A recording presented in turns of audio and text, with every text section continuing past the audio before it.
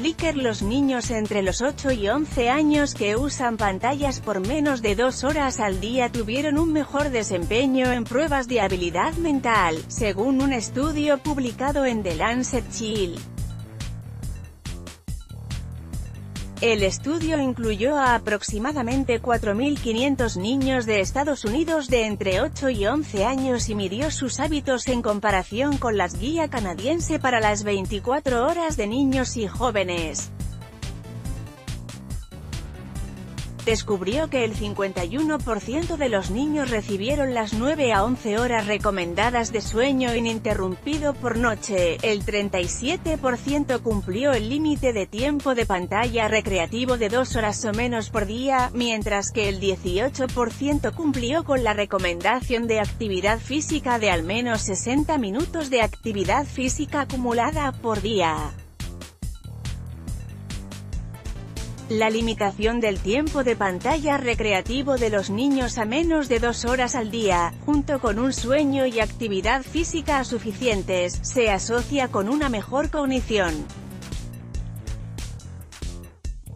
Los investigadores concluyeron que ahora se necesita más trabajo para comprender mejor los efectos de los diferentes tipos de uso de pantallas en los niños menores de 11 años, y reconocen que su estudio observacional muestra solo una asociación entre el tiempo de pantalla y la cognición y no puede probar un vínculo causal.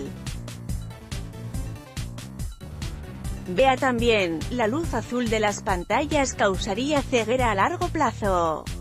El estudio hizo cuestionarios a los 4.500 niños sobre actividad física, sueño, uso recreacional de las pantallas.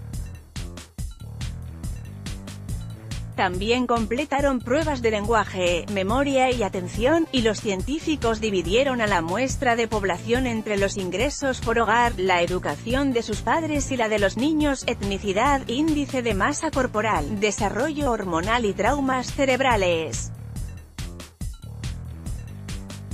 De acuerdo con BBC, los niños que cada día tenían menos de dos horas de tiempo de pantalla recreativo, dormían de 9 a 11 horas y realizaban al menos una hora de actividad física mejor que quienes no lo hicieron.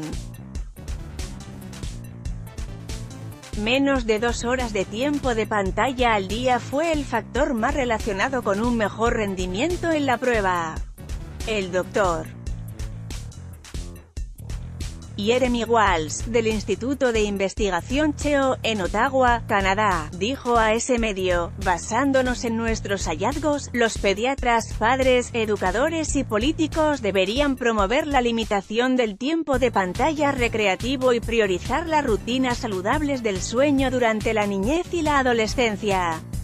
El estudio tomó datos del Estudio de Desarrollo Cognitivo del Cerebro de Adolescentes patrocinado por los Institutos Nacionales de Salud e incluyó encuestas realizadas por los padres sobre la cantidad de horas de sueño que tuvo un niño, la frecuencia con que eran físicamente activas y cuánto tiempo de pantalla tenían. Walsh cree que el 30% de los participantes que no cumplieron con ninguna de las pautas son los que tienen más que ganar del ajuste de las conductas diarias. Pueden beneficiarse más porque no están recibiendo ninguno de los beneficios derivados de cumplir con estas pautas, dijo Walsh a CNN.